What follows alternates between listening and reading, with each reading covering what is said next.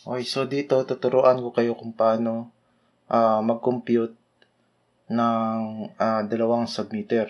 Okay, so unang gagawin natin is maghalimbawa tayo ng isang buwan. Okay, so ang gagawin nating example is September 1 to 30. Okay. So, unang gagawin natin, uh, kukunin natin yung mga previous reading at saka current reading ng bawat submeter. Okay, so halimbawa ito yung first submeter. Second submeter naman dito. Okay, sa first submeter, meron kang na-consume noong September 1. Ito yung previous reading niya. Nasa 9,321. Okay. Yung current reading naman, which is nasa September 30. Okay, so nakakonsumo ka ng 9,400. Okay.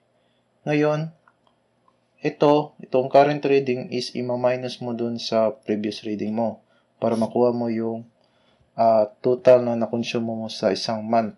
Okay? So, 79, di ba? Kilowatt hour. So, parehas man din dito sa second submeter.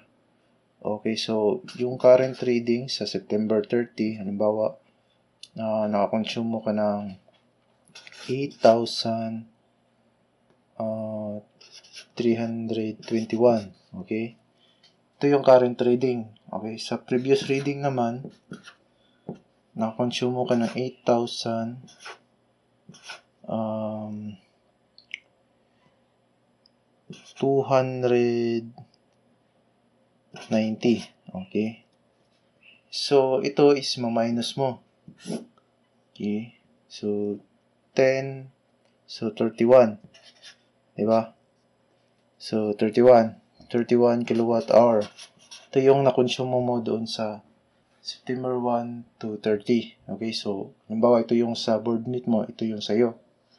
Okay, so, dito, makikita natin uh, kung i-compare natin, mas malaki yung sa iyo per, sub, sa, per submeter. So, dapat mas malaki din yung uh, babayarin mo, di ba? So, ang gagawin natin, uh, halimbawa, uh, meron ng billing. So, yung total billings is um, kasali na yung tax. Okay? So, hindi lang yung yung sa reading mo at saka rate, okay? Kasi isali na yung tax kasi babayarin mo din yan, di ba? So, para mahati lahat, okay? So, halimbawa, um, meron kang 2,600 na total na babayarin sa isang buwan. Okay? Kasali na dito yung tax. Pero hindi pa kasali dito yung previous payment mo. Pero hindi natin siya isasali sa computation natin kasi September 1 to 30 lang yun kung kukunin natin. Okay, pero sa resibo is mag-a-appear yan. Okay, ito total din yan sa previous payment mo kung meron kang payment, uh, previous payment. Pero sa atin is, halimbawa lang walang previous payment ka. Diba? Okay, so ito yung uh, gagawin nating halimbawa. Now, una nating gagawin dito is i-add muna natin tong 79 at 31. Okay? So, 79 plus 31. Okay. 10. So, 110 kilowatt hour. Yung total na nakonsumo mo sa buong uh, buong buwan yan. Okay? So, ngayon, pwede mo siyang i-trace doon sa uh, sa billings mo kung tugma siya. Okay? Now, minsan hindi yan tugma. Minsan merong mga maliliit na gap. Kung maliliit lang ng gap is okay lang. Pero pag malaki na yung gap, halimbawa nasa 200 na, so doble, so possible merong nag-jumper. Pero kung maliit lang, so nasa, uh, lagay na lang natin sa 112 or 1, 113 kilowatt hour, so okay lang yun. Now, ang gagawin naman natin dito, itong 110 kilowatt, uh, kilowatt hour is uh, gagamitin natin dito sa pag-divide. Okay? yung 2,600, divide natin sa 110 kilowatt hour. Okay, so, divide natin. Okay, 2,600 divide 110. Okay. So, gamit tayo ng calcu. So, 2,600 divide 1, 110. Okay, nasa 23.64. Okay, 23.64.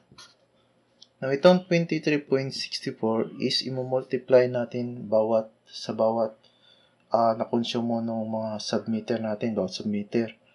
Okay, 79 at saka 31. Okay, so 79 multiply by 23.64.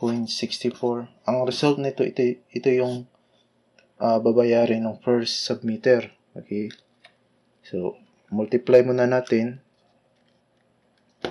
79 times 23.64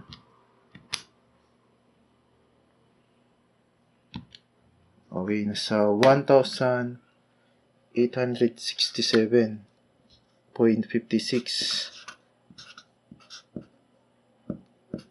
okay ito yung babayarin doon sa first submitter. Okay, sa second submitter naman, uh, ganun pa rin is i-multiply natin doon sa 23.64. Okay. Times 23.64. Okay. 31 times uh, 23.64. So, nasa 732 0.84. Okay. So, ito yung babayarin ng uh, second submitter. Okay. So, ito naman yung babayaran doon sa first submitter. So, kita nyo, mas malaki yung sa first submitter compare doon sa second submitter kasi malaki yung uh, nakuha niya doon sa uh, na-consume niya doon sa sa isang buwan. Okay? So, mas maganda ito kasi mas accurate yung uh, paano yung hatian. Okay? Para ma-check natin na uh, kung tama ba yung calculation natin is i-add natin to at saka ito. Kung ang result is 2,600, so tama yung dapat 2,600 yung result. Okay, 732.84. Okay, plus natin Okay. Plus 1867.5.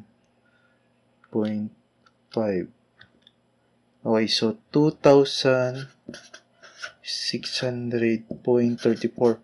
So, okay na yung uh, meron kasing mga uh, decimal point, di ba? So, so, close lang din naman yan. So, 2,600 di ba? So, tama yung calculation natin. So, ganoon lang yung uh, calculation dito. So, importante lang na dapat tandaan nyo is dapat alam nyo yung current reading at saka previous reading. Okay, so, halimbawa, ito na yung uh, current reading at previous reading mo sa September 1 to 30. Now, sa next month, itong current reading, ito na yung magiging previous reading mo. Ito na 9,400. Now, sa, sa October 30, yun na yung uh, current trading or present trading. Okay, so dapat makuha mo itong September 1 at saka 30 para makompute mo yung uh, dito. Okay? So, ganun lang. Okay, so uh, recap tayo. Um, sa next tutorial ko, um, gagawin ko is about sa mga ilaw pa rin, okay? So, kasi marami itong, uh, marami pa rin mga nalilito about uh, circuit breaker. So, ilang, uh, ilang amperahe, ilang ilaw, ilang, uh, ilang outlet ang pwede mong ilagay. So, meron tayong mga calculation yan. Okay, so do- sa next tutorial ko na lang siya ah ipapaliwanag. So, salamat.